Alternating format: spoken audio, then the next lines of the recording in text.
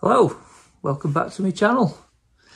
So you've obviously seen the description. I've got a problem with both calipers that I rebuilt on front of this earlier in the week. Um, I had a look the other day and there's a little tiny, tiny, tiny bit of brake fluid on the floor beneath each one. We're about the size of a 2p, 50p, something like that. So not a great deal, uh, but nonetheless it's dripping down felt underneath the calipers, it's coming from somewhere. It's just pooling at the bottom. It's either coming out one of the pistons or one of the caliper seals, but I think I'm to have to probably strip them down to take a look, try and find out what the problem is. Uh, so it's not great, but uh, what's a YouTube channel without a fail video? So I'll, uh, I'll strip them down, see what's going on. So there's one, two drips there. That's where the first one was. I moved it back a little bit. I was messing about the other day. That's where the other drips appeared. Off this side. Gonna be a bit dark this, but if I just feel underneath there, like that, definitely something coming out. It's not a great deal, but I'll have to have a look at it anyway. That's the same on the other side. Still tricky to see exactly where it's coming from. There's a little bit pooling around there. I don't know if that's coming from higher above. There's definitely a little bit there. Behind the pad. On the other side. It's on the other side as well.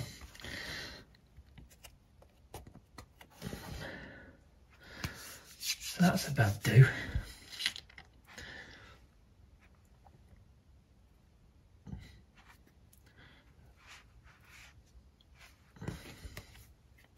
So you've got both sides, either both sides are leaking or is it coming from higher up?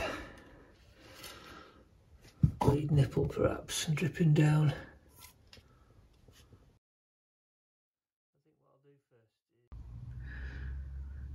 So what I decided to do, take the caliper off the disc. I'm just going to um, pump the brakes a few times and see if I can see any oil appearing. I've put put a spanner in between the pads just to try and maintain some separation because if I do need to get this off I'm going to have to put it back on again to uh, crack them bolts that are holding the caliper together. Right, so let's give this a try now. I'll pump the brake a few times, get some pressure in.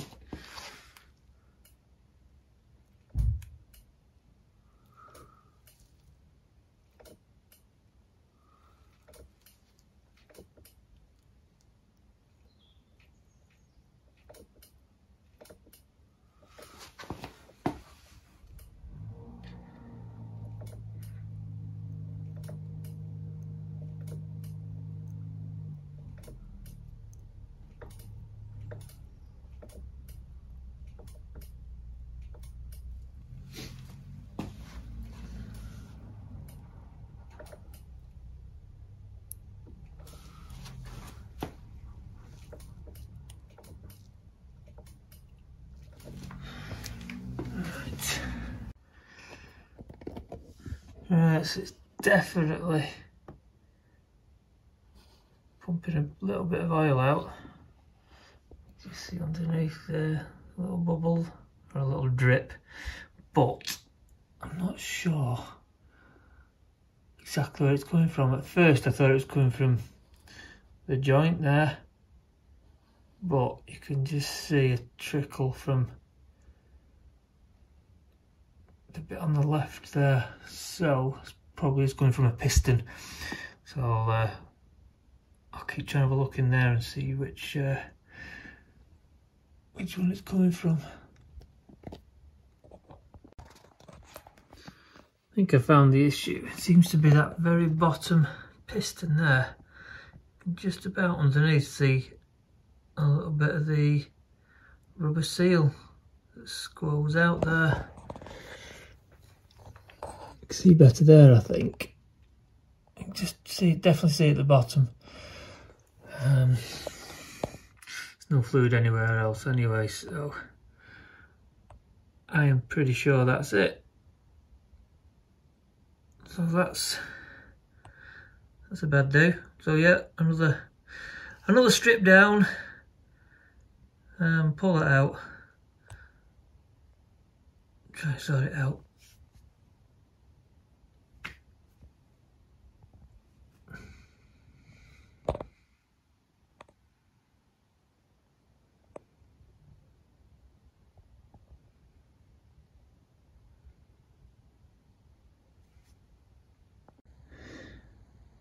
Had an idea as well.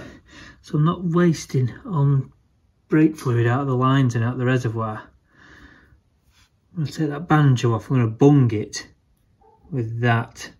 That's the hardened silicon. Let's come out of the end. Silicon tube. Let's see if it works anyway. I don't know what the official method is, whether they do it or not. Maybe they just let it all drain out. We'll see if that works. That seems to do the trick. Not a bad idea for me. That's it, yeah, definitely. Some sort of squeezing out or kinking on that one there. But that's the dust seal. I don't know if it should have prevented uh, sorry, if the previous seal should have prevented any oil coming past it or not, I don't know. Um, yeah, not sure how that's happened. Hmm. But yeah, all the others definitely seem dry around them. Oh, drier. There's a little bit, but anyway. And then this one here. I thought there might have been some coming out of there as well, but can't tell. Anyway,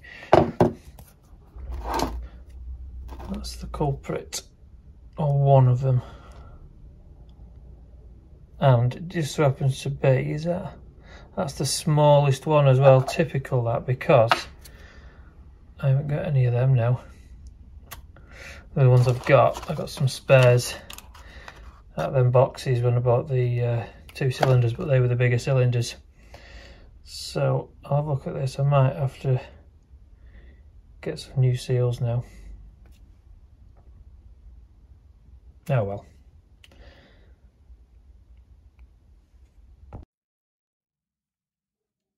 Well, I've refitted that now um, after rebuilding it again. So it was the rings on the bottom two pistons there, which are both the 24 millimeter sized pistons, uh, they were both leaking.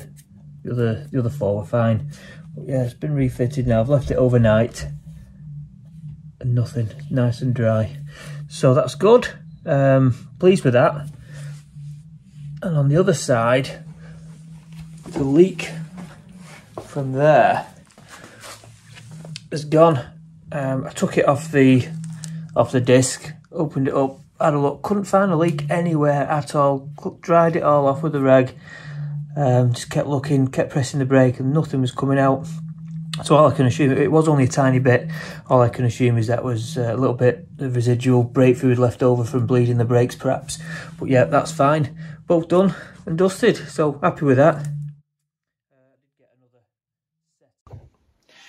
All that's left to do on this now for me uh, just top that up again.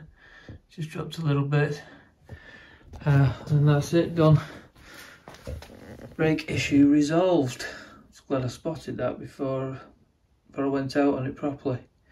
Um, but it's going to be in here for a few days at least now. So certainly I'll notice if any more fluid appears on the bottom of there through leaks or anything but yeah, job's a good one. Alright, well that's it for this video. One thing I have noticed though is that this front disc might be slightly warped or one of them. I just hear it catching when I spin it a tiny little bit. Think it's a major issue I can't feel any pulsing on the brakes uh, but it might be something for a future video anyway to replace the discs.